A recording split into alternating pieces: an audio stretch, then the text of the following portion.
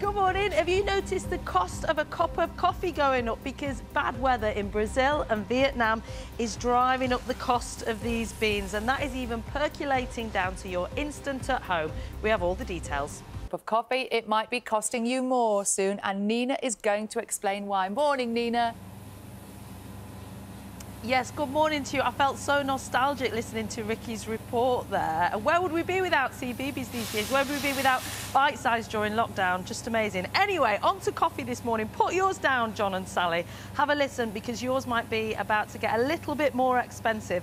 So we're at Coffee Central in Nottingham and these beans are from all around the world. So these from Brazil, these from Colombia, these from El Salvador. And it's interesting actually when you take the beans in the purest form, like that. They don't smell like coffee, they smell more grassy, don't they, Dean? They smell sort of mossy, and then the roasting process happens, and that's how they turn into the coffee that we know, Dean, that did keep coffee cheap, has really gone up. Let me talk you through why. So, bad weather in Southeast Asia, tastes of cherries and fruit. Yeah, it's very boozy, quite chocolatey. Boozy? Yeah, this is a, a Colombian anaerobic natural. Go on, pour me some. Yeah, okay. Um, So, really nice kind of soft acidity there, and some chocolate notes as well. It's very sweet, smooth, sweet. There's no bitterness there at all. It's delicious, but I'm going to have to put a pause on the coffee because Jon and Sally, I've already had three this morning, so I'm getting a little bit jittery. Uh, but going back to the economic principles around it, yes, the basic cost of coffee is going to go up. So if you're buying that instant at home, but this is a thriving market at the upper end, people willing to pay £4, £4.50 for a coffee when they go out and about. So places like this are in a position.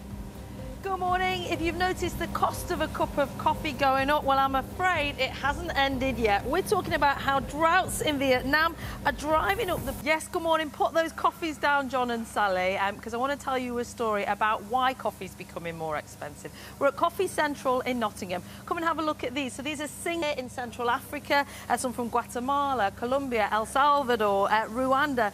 You'll notice, maybe, that all of those countries are equatorial, so they're around the equator because that's where the best conditions are for growth, the most consistent conditions, apart from when they're not, and that's what we've been having in Brazil and in Vietnam. So these here are your Robusta beans. So these are like your common garden beans, if you like. They're going lots of blends and by and large make up that cheap instant coffee that people have in their household. When Vietnamese coffee beans go up, it has an inflationary pressure on all coffee. Let's take a look at that then. So they are as expensive as they have ever been since droughts happened in Southeast Asia. So the benchmark for beans in Vietnam hit an all-time high of around £3,300 a tonne last week. And we are hooked on coffee, so we feel every movement in the market. We drink about 98 million cups of coffee every single day, most of them drunk by Jon Kay. And, and if you're lucky enough to have that disposable income to hit the high street every day and buy a coffee, you'll notice, for example, that the price of an average latte in a high street chain has gone up to about £3.50, a 15% increase on, on the year before. And it's not just those big high street stores feeling it. 80% of us do have instant coffee at home. So when these beans go up, we all feel that pinch. Come and meet Gavin, who's head of operations here. Good morning, Gavin. We're just talking to the audience, um, and I want to introduce you to Danny, who keeps an eye on the markets across the world, what investors are doing when it's big supply and demand pressure in Salford, where you are right now. And Sally, as you know, it's the fact that Jon Kay monopolises all the coffee Correct. in the building Correct. every day. Yeah.